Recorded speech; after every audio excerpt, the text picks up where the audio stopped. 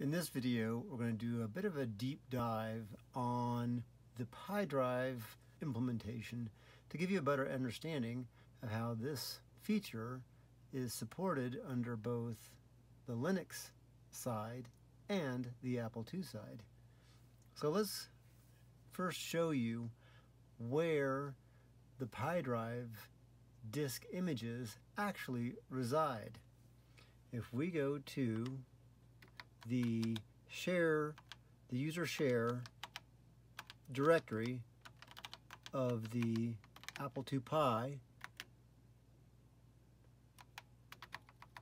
I can spell right,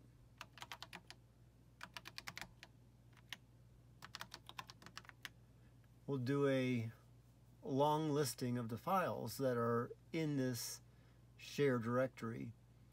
You will notice that there are two files, a2vd1.po and a2vd2.po, which in fact are symbolic links to other files.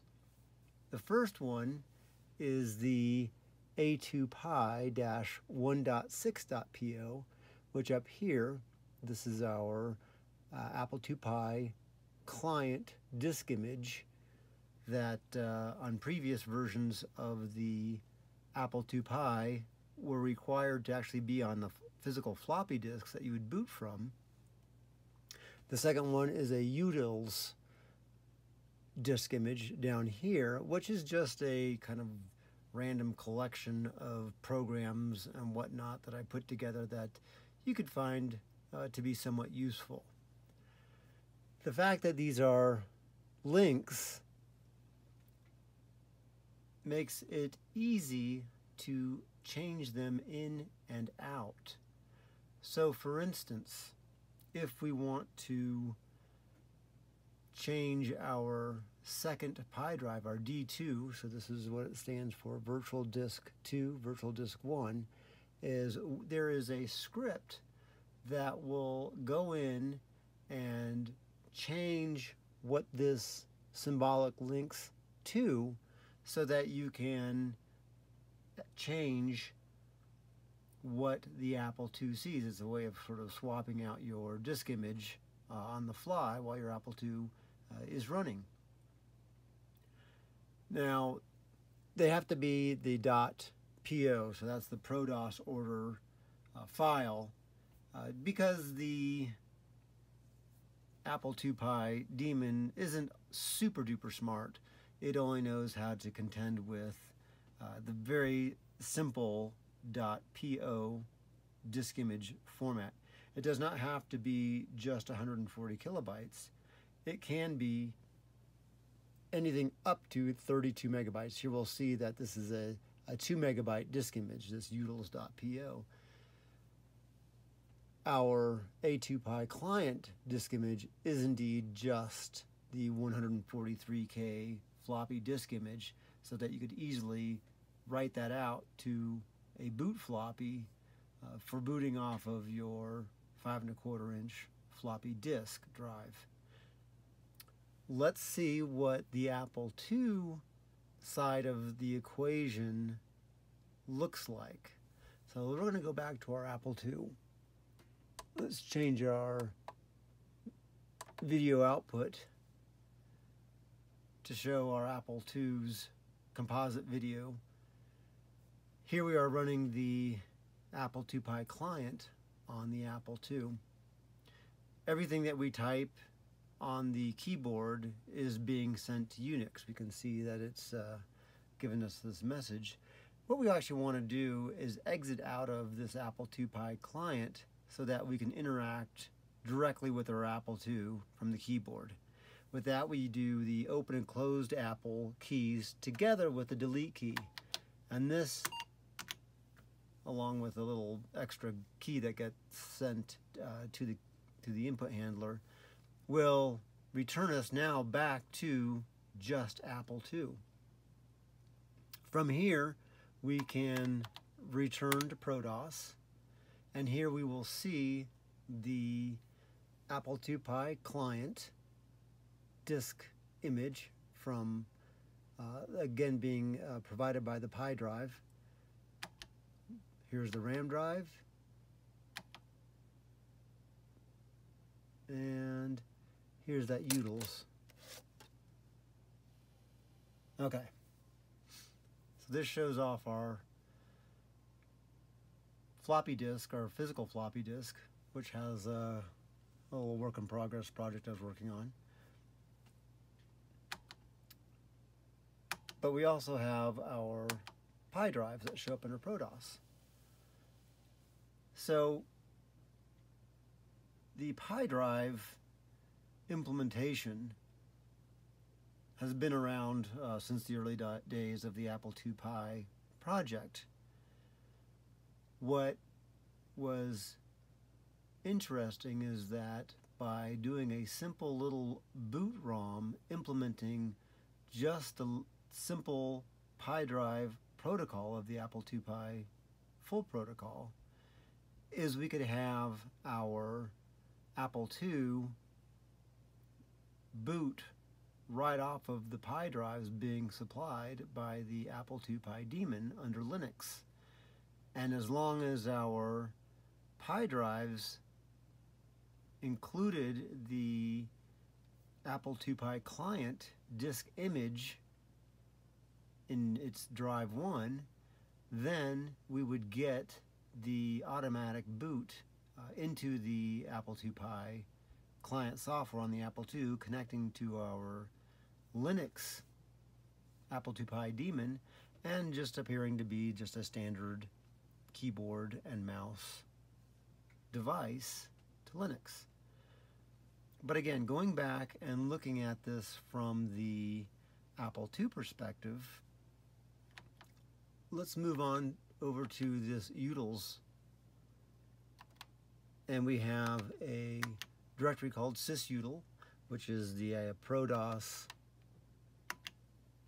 system utilities program which we can run directly off of the Pi drive and we can show the volumes. We can do everything we would normally do under ProDOS. So this is a um, way to just uh, show that uh, our two Pi drives, since our Pi is in slot 7, we can see that the Apple II Pi client is in drive 1, the utils disk volume is in drive 2, and the work in progress is in the physical floppy disk on the uh, on, on our drive, our floppy drive. So from here, we can run, we can copy files around, we can do everything we would normally do with our Apple II under ProDOS. And that's one thing to kind of mention is that the Apple II Pi Apple II environment really is ProDOS focused. It's not so much for DOS 3.3 or any other operating system. It really is meant to work with ProDOS disks and ProDOS volumes.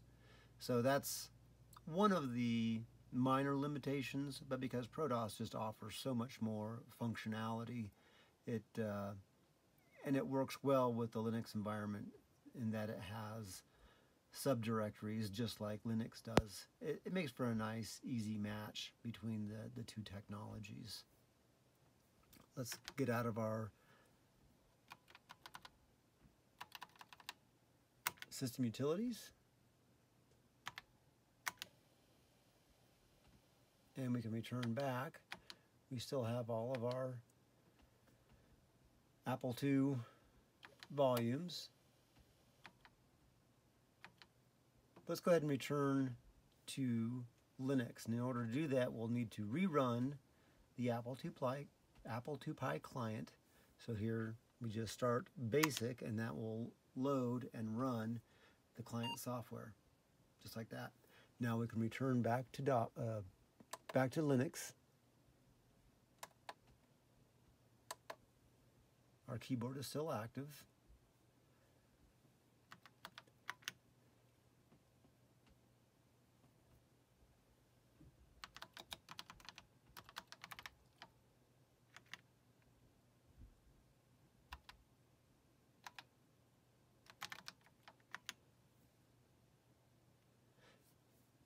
we notice that uh, I included some other disk images for the GS emulator. One of them, this is the bare bones Apple II GS with AppleTalk enabled .po file. So we can actually use that to link to our actual Pi drive if we want to explore that from the Apple II. There is a script that will go in and allow us to change the links for our virtual drive assignments. So let's try that.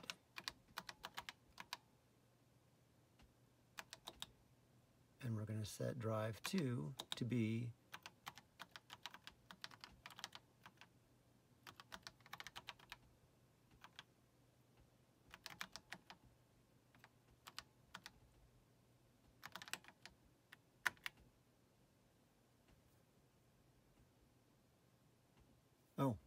but we have to do it as a super user.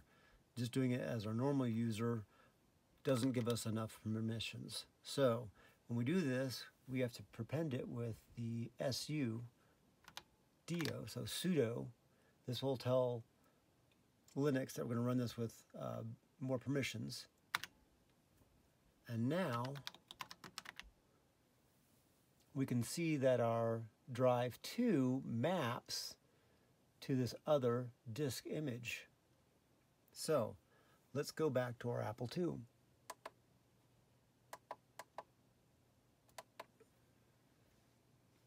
We're still running our client. So let's exit out of our Apple II client program. Back to ProDOS. Now we notice we have a new disk image showing up. This is the GSOS with AppleTalk enabled drive image. We can see all of its directories, and a lot of this is using GSOS, so this won't really run very well on our Apple IIe, but we can still use ProDOS to go through all of its files. Uh, some of them actually are 8-bit ProDOS aware. Uh, for instance, here's Merlin 8. That's one we can run. Let's look at, we can actually run Merlin. Let's try that for fun. We'll load Merlin. So there you go. We can catalog, see the files, exit back to ProDOS. So this is how we can swap out the virtual disk images for our Apple II on the fly. Again, let's go back to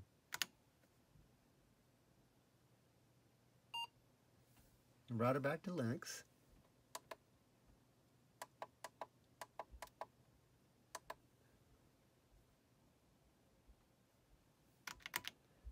Our keyboard connects us to our terminal window again.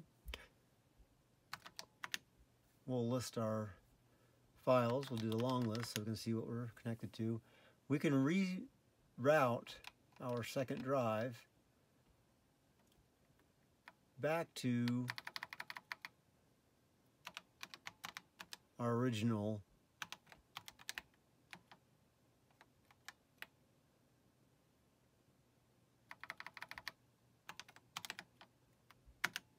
There.